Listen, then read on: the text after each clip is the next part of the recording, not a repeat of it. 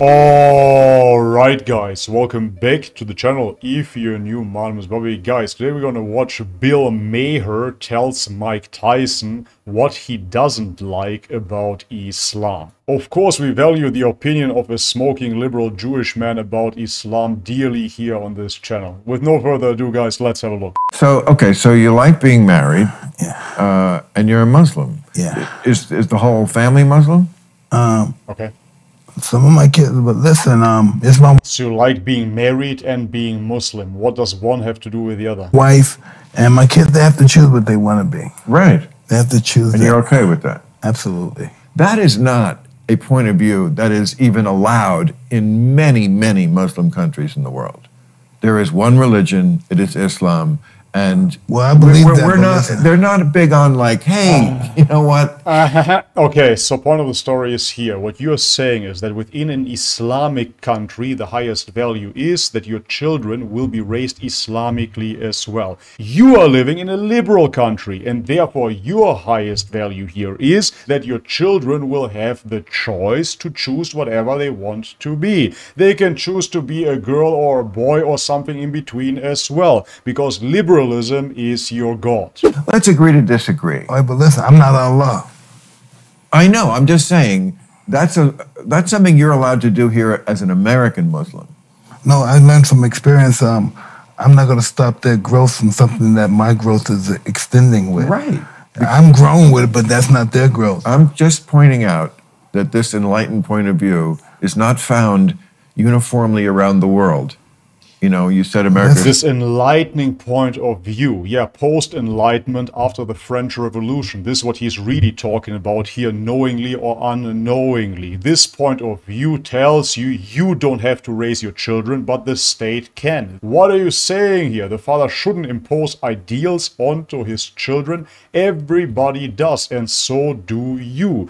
You are brainwashing your children if you have children at all i don't know into liberalism where you tell them it is all about individualism, it is all about their personal freedom. This is the highest value within your society. This is what it means to be an American, apparently. But just because this is the Western American way doesn't make it right. And moreover, yet again, you have a double standard here because it is both indoctrination. If you send your children to the school and they tell them it's all right to chop off your pee-pee if you feel like a girl today, that is indoctrination as well. They're both educational methods. One teaches them there is only one God. The other one tells him there is no God. It is up to you, bro. the greatest. That's Listen. one reason why the one thing that's still great about America is that you can have that You'd point be of view. surprised how many Muslims want to come in and they think that we the way we think. but Oh, I'm, can't- I'm but sure can't they show do. That. Oh, I'm not surprised. You'd be surprised. I'm not.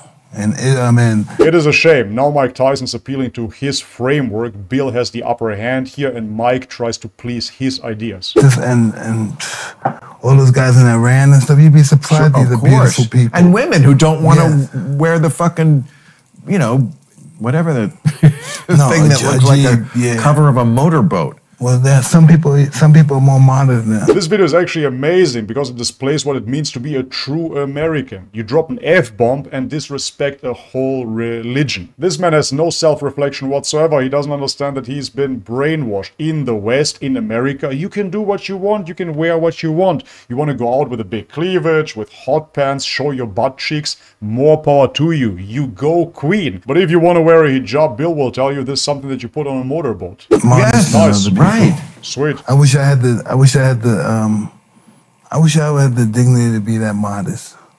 Mine is Modest? something nice. Yeah. Why do you to say cover that's myself. modest? Because they, they believe in covering themselves. And, Oh, and I'm like you said, I gotta be.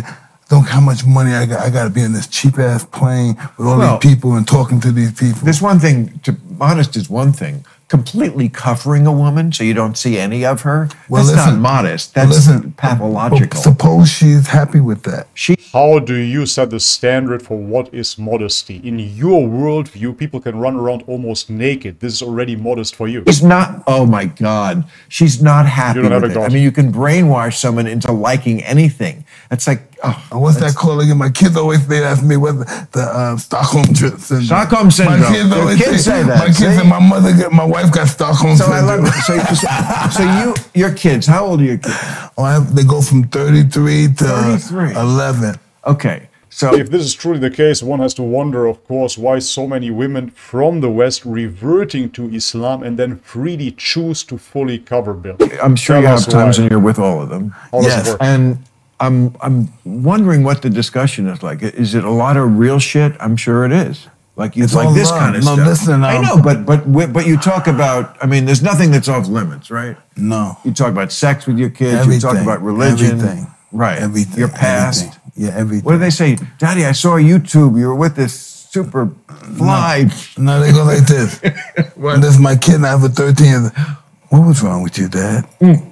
Alright, that's it for today's video. Unfortunately, Mike Tyson did not defend Islam properly, aside from saying that it is modest to wear a hijab.